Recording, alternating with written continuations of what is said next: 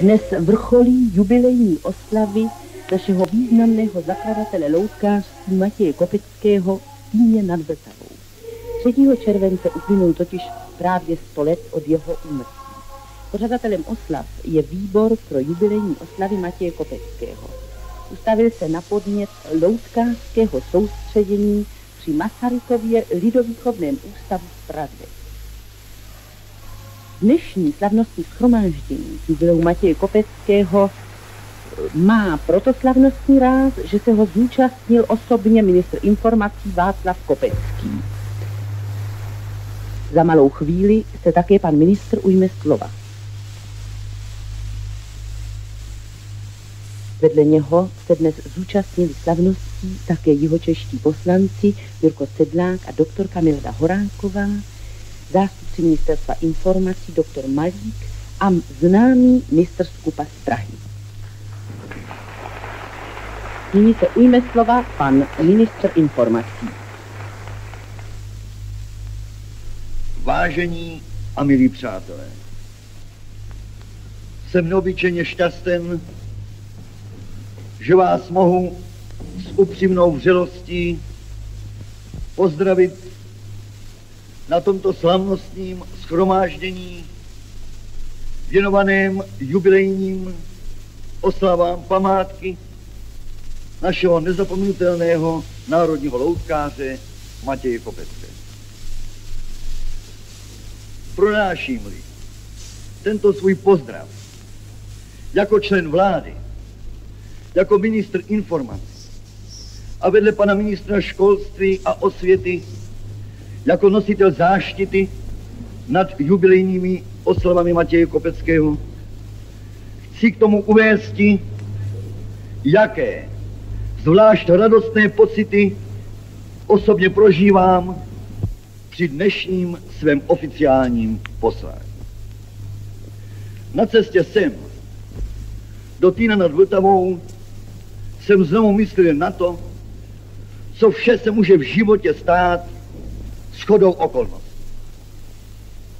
Věru, když jsem jako malý hoch chodíval zadarmo na představení Loutkového divadla rodiny Kopecký a tatínek mi říkal, že neplatím vstupné proto, že jsme příbuzní s rodem Matěje Kopeckého, neměl jsem tušení, že sudičky mě přisoudili, abych jednou právě já, jako ministr jména a rodu Kopeckých, měl záštitu nad oslavami z tého jubilea Matěje Kopecké.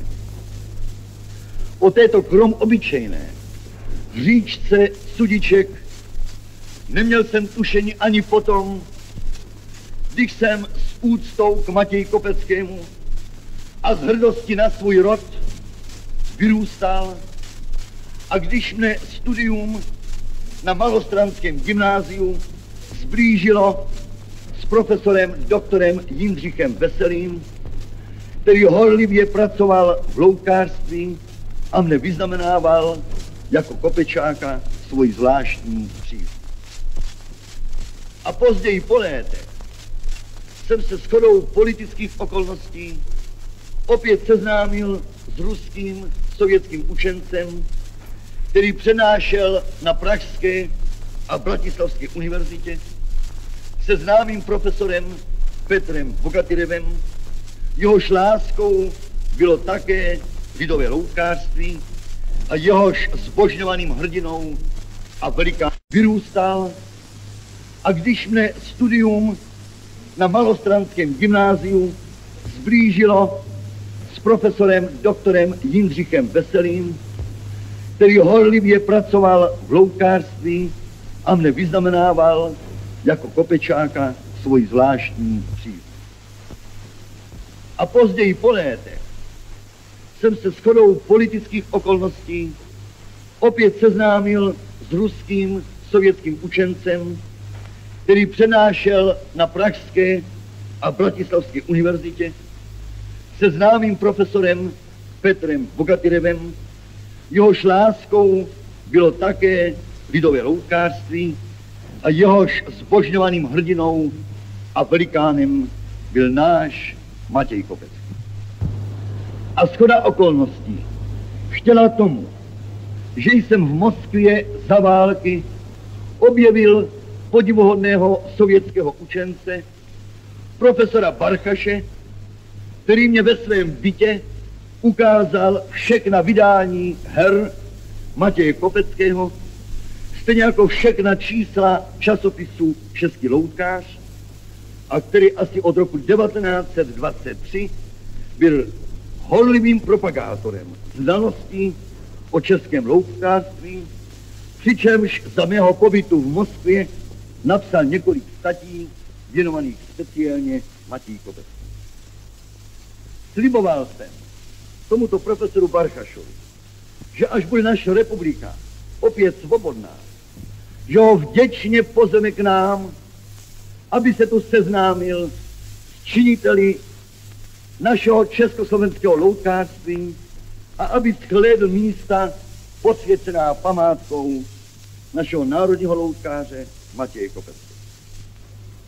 A neměl jsem tehdy v Moskvě opět tušení, že to budu já, který jako ministr informací profesora Barchaše pozve do Československa, což jsem učinil, když jsem na profesora Barchaše a profesora Bogatyreva adresoval do Moskvy zvláštní pozvání k účasti na jubilejních oslavách Matěje Kopecké.